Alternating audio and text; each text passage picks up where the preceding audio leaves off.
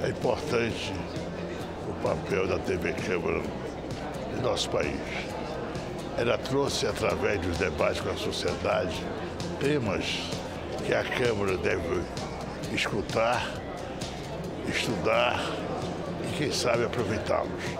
O papel da TV Câmara é essencial dessa interação entre Câmara e sociedade, entre representando o povo e os representados pelos parlamentares.